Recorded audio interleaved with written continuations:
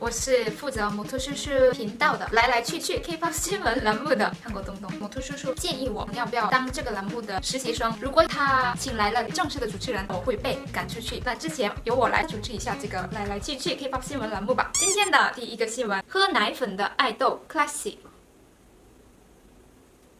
嗯，四代女爱豆 Classy 出演了 MBC 的综艺节目。Classy 有四个成员是零七到零八年生，在节目中的经纪人说，他们都是儿童，他们要好好长大，所以我要给他们准备放芝士的营养便当。接着还出现一位成员喝奶粉的场面，引起了网友较大的争议。更有趣的是，这后面经纪人还自相矛盾的监督成员吃零食，强迫他们减肥。刚刚的奶粉和芝士便当呢？对此，网上的反应主要分三类：批评公司太做作了，公司定的人设好。奇怪，这过分的人设啊，原来是光之家的爱豆啊！可怜的孩子们啊，是光之家的苗总，成为没有罪，这公司真的有问题。对人设的批评，这人设要吐了，好恶心！即使他真的在喝奶粉，也不应该在节目中放出来，能看出他们要的是什么效果？太脏了，公司醒醒吧！比较认真的质疑，奶粉是高热量吧？谁减肥喝奶粉啊？网上几乎找不到对这件事情的积极评论，但大家也认知成员的年龄比较小，而且他们都是刚刚出道的新人嘛，把箭头都指向了公司。接下来是有关于 Lead Seraphim 的消息。You should get away。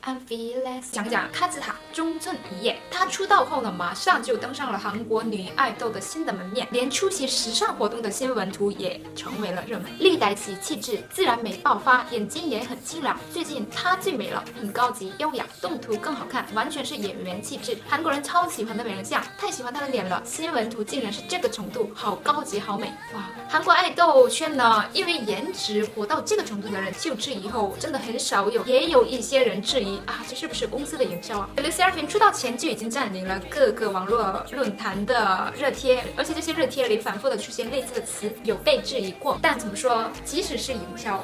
但是效果这么好的话，只能说这个人的魅力真的就太强了吧。最新消息，昨晚写着金嘉兰名字的校园暴力委员会文件在网上公开，围绕金嘉兰的校园暴力正义再次扩大了。对此，Source Music 表示他们的立场没有变化，他们已经开始了一系列的法律对应。呃，大多数韩国网友还是坚决的反对金嘉兰参与这个组合。如果这是真的，那不是完全在给组合拖后腿吗？Hype 怎么想的，让他出道？到底干什么？居然还开了校园暴力委员会？当然也有冷静看待的立场。这文件连盖章都没有，怎么相信得了？文件下面可能是这样写着：无校园暴力嫌疑。所以最重要的是下面结论写着什么？目前看来，Source Music 的立场也很坚定，大多数观众的立场也很坚定。不知道最终大家能不能看到大家想要追求的真实？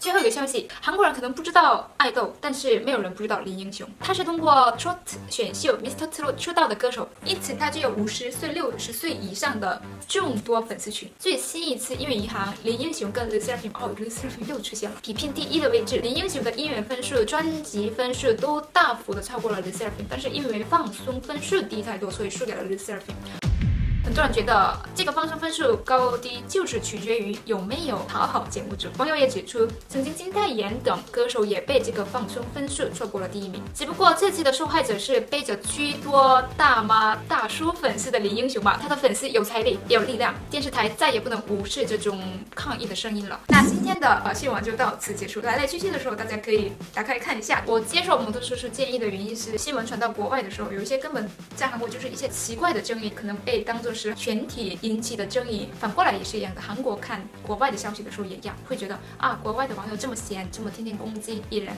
我觉得这是相互都一样的感觉。所以呢，呃，下一次再见吧，结束。